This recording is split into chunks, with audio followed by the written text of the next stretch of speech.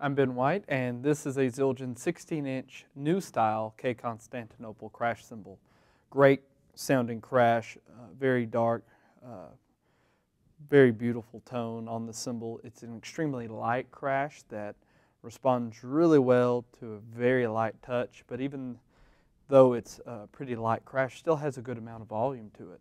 And you can get this exact cymbal only at mycymbal.com.